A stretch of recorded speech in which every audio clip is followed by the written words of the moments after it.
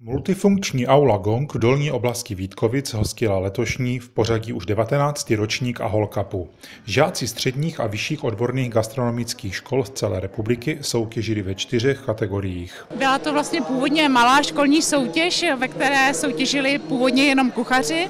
Teď eh, za těch 19 let se nám ty soutěžní disciplíny poněkud rozrostly. Ještě než se rozběhla jednotlivá soutěžní klání, předvedl šéf kuchař Pavel Čagil přípravu zážitkového dezertu. Já konkrétně jsem tam použil eh, domácí sufle čokoládové z belgické čokolády, jsou tam domácí makrony, jsou tam, eh, je tam malinové pyré, které zase se krásně jak lehce do kysela hodí k té čokoládě, takže je to perfektní kombinace. V malém sále bylo možné obdivovat umění barmanů, baristů a týtendrů, chcete-li český čajíčkářů. Je to ending kaskara, je to digestivní nápoj, který se podává na konec každého menu, který by měl podpořit trávení, proto je to z čaje. Podpořila jsem, jelikož kaskara je hořko-sladký čaj v podstatě, tak jsem to pod, tu chuť jsem podpořila vlastně Monin Ibišek, který podporuje květinovou chuť a sladkou chuť čaje a Moninem Bitter, který podporuje zase hořkou chuť, aby to bylo vyvážené a dala jsem tam dva džusy, jeden byl ostružinový a druhý byl grapefruitový. Takže já jsem připravoval drink eh, s názvem Absolutní šílenství. Příprava mi trvala 4,48.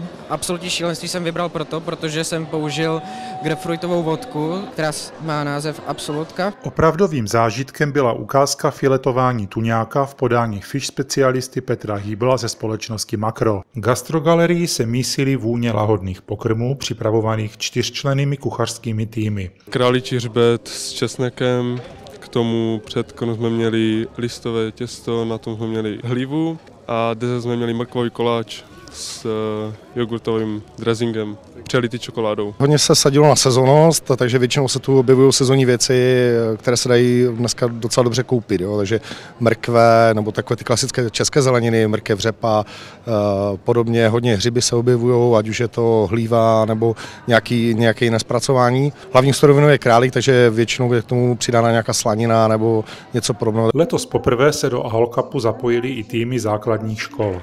Mezi nimi si nejlépe vedly školy z Ostravy Jihu, které obsadily první tři místa v pořadí Horimírova, Krestova a Jugoslávská. Každá taková akce, která propaguje určitý obor, která propaguje určitou školu nebo umožňuje žákům zvítězit, zažít úspěch, je prospěšná. Mě vaření osobně baví, takže já mám dobrý vztah Eh, k těmto soutěžím a eh, i k těmto disciplínám, k vaření, kavu mám taky rád. Škola Ahol patří na naše území, je to naše škola ve Vítkovicích, jako každoročně ji podporujeme jak finančně, tak prostě vším, co škola potřebuje. Máme hodně dobrou spolupráci a nepodpořit tyhle ty mladé lidi, kteří nám budou jednou vařit, to by byla hamba. Součástí doprovodného programu byla prezentace dokumentárního filmu o zdravém stravování ve školách, kterou připravila Miroslava Slovenčíková z magistrátu města Ostravy. Ahol Cup opět představil nové trendy v nápojové kultuře i gastronomii. Přestože letošní ročník sotva skončil, pořadatelé už nyní začnou přemýšlet nad jubilejním 20. ročníkem této populární soutěže. Přemýšlíme eh, o tom, že zařadíme ještě jednu soutěžní kategorii, ale samozřejmě to všechno eh, bude až po konzultaci s těmi profesními asociacemi, buď s Českou barmanskou asociací nebo asociací kuchařů a cukrářů České republiky.